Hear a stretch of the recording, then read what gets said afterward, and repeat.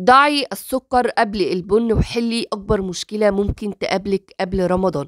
الفيديو النهاردة تدابير منزلية وحيل وأفكار بره الصندوق سر لن تتوقعيه حرفيا مليان تدابير. هتوفر وقتك ومجهودك في التنظيف وكمان فلوسك قبل رمضان. وهنخلص كل التنظيفات والترتيبات في وقت قصير جدا كل سنة وإنتم طيبين. ورمضان كريم علينا جميعا. يلا نبدأ الفيديو بالصلاة على النبي. اللهم صل وسلم وبارك على سيدنا محمد وعلى آله وصحبه أجمعين. هتجيب الكوتش بتاعك أو بتاع بنتك أو عموما أي كوتش في البيت. وهقول لك فكرة حلوة جدا جدا وهتفرق معاكي كتير. أول حاجة بنجيب قطعة من القطن وهنجيب المسك. يستحسن هنا المسك الخام الأحمر. وهنبدأ إن إحنا نوزعه على القطنة بالطريقة دي. القطن يا جماعة بيحتفظ بالبرفيوم والريحة لفترة طويلة جدا. هتحطي جوه الكوتش قطعة القطن اللي هي بالمسك دي وهتبيتيها ليلة كاملة. هتخلي ريحة الكوتش ثابتة ورهيبة فيها ريحة غير طبيعية لمدة أسبوع كامل. اعتمديها. هنجيب ال wipes وهن... وهقول لكم ليه شوية استخدامات دلوقتي تحفة جدا جدا جدا. طبعا أنا قلت لكم قبل كده إن ال wipes ليه استخدامات كتير زي مثلا لو لمعنا بيه ال sticker بتاع الرخام هيلمع جدا جدا ومش هياخد وقت خالص في التنظيف كمان قلت لكم قبل كده العلب بتاعة التخزين اللي بنحط فيها المكرونة والسكر أو المكرونة والرز اللي هي زي منظم برضو ال wipes بيلمعها أحلى من مسحوق المواعين وأحلى كمان من السلك. وكمان ما بيجرحهاش. أما بقى الاستخدام الجديد اللي أنا هقول لكم عليه هنجيب wipes وهنجيب كنكة وهنبدأ إن إحنا نحط ال wipes على الكنكة ونحط عليه التوكه بالطريقة دي.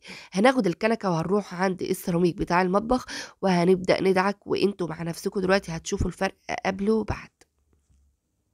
طبعا الموضوع ده هينفع جدا جدا قبل رمضان بالأخص للرخامة أو للسيراميك اللي ورا الرخامة اللي ورا الحنفية بتاعة المطبخ. فالموضوع ده هيخليكي تنضفي السيراميك في وقت قصير جدا وهيديله لمعة كده رهيبة. يعني لو خدت بالك قبل وبعد الفرق يعني شاسع. بالكنكة وال wipes هتلمعي السيراميك دي كلها. يلا بينا نشوف التدبيرة دي. طبعا زي ما إحنا عارفين المجات لونها بيسود بسرعة هتحطي معلقة من الكربونات وهتجيبي قطعة من القطن وهتبدأي إن انت بالقطن زي مثلا تغسلي على الناشف بالكربونات والقطن وبس. الكربونات مع القطن هيسحبوا كل السواد وكل الإسمرار الموجودة داخل المج. كده انت تقريبا كده نضفتيه من غير أي مجهود ومن غير أي مساحيق وأسعار كتير دلوقتي غلت للمساحيق فانت هتوفري المساحيق الغالية بحتة من القطن وربع معلقة من الكربونات. هاتي مشبك دبوس غسيل وهاتي كمان شماعة وهقولك على فكرة حلوة قوي. أول حاجة هنجيب الدبوس وهنبدأ إن إحنا نجيب المسك الخام الأحمر وهنبدأ إن إحنا نغلفه كويس بالمسك ونبدأ إن إحنا نوزع المسك على الدبوس بالطريقة دي. هنجيب الرشاقة وهنبدأ إن إحنا نثبت عليها الدبوس. وبكده انت هتحطي الرشاقة جوه الدولاب وهتخلي ريحة الدولاب كأن انت حاطة جواه فواحة. رهيب. لو عارفين الجراكن بتاعة المسحوق بتاع الغسيل اللي هو الجل ليها استخدامات كتير. أول حاجة الغطا تقدري تشيليه وتستخدميه ككوباية معيارية للمساحيق. هنسخن السكينة وهنيجي عند الجزء اللي تحت ونبدأ إن إحنا نقطعه بالطريقة دي أو نقصه يعني. هنعمل بيه فكرة عبقرية بجد فكرة حلوة جدا جدا جدا. لو وصلت لحد هنا وأول مرة تشوفوني أنا اسمي إسراء فتحي اوعوا تنسوا تصلوا على النبي وتدعموني بالاشتراك بقناتي آه هبدأ بقى إن أنا أحط المية بالطريقة دي.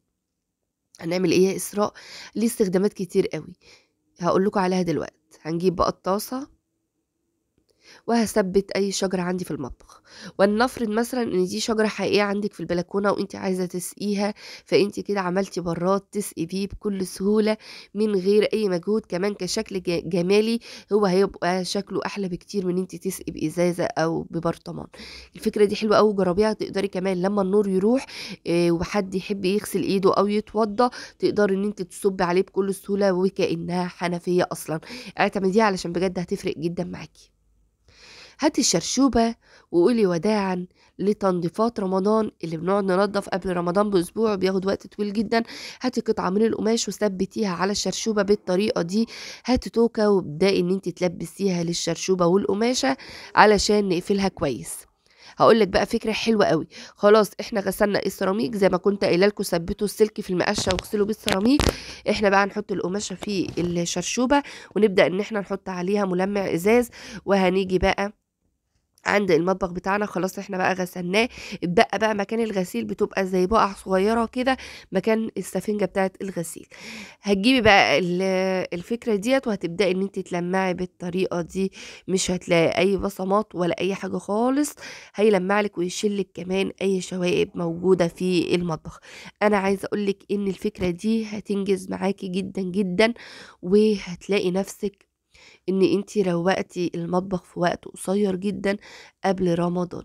طبعا أنا بس بوريكم الفكرة ولكن أكيد بعد الفيديو أنا هشتغل بتأني كده هياخد مني بالظبط عشر دقايق.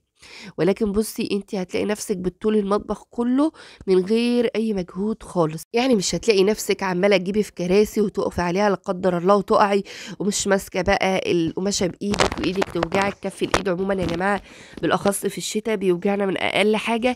فوفري على نفسك قبل رمضان بالفكرة دي. هتلاقي انت كمان ممكن تمسحي بها السيراميك ممكن تمسحي بها الأرضية. هتلاقي نفسك إيه ممكن تعمليها زي زعافه وتنضفي فيها بيها السقف كده من فوق وممكن تنضفي بها فوق المطبخ نفسه فهتلاقي نفسك روقتي في وقت قصير جدا. نيجي بقى لفكرة الفيديو الأساسية اللي حرفيا هتفرق معانا جدا جدا اللي هي ضعي السكر قبل القهوة وتخلصي من أكبر مشكلة بتقابلك قبل رمضان.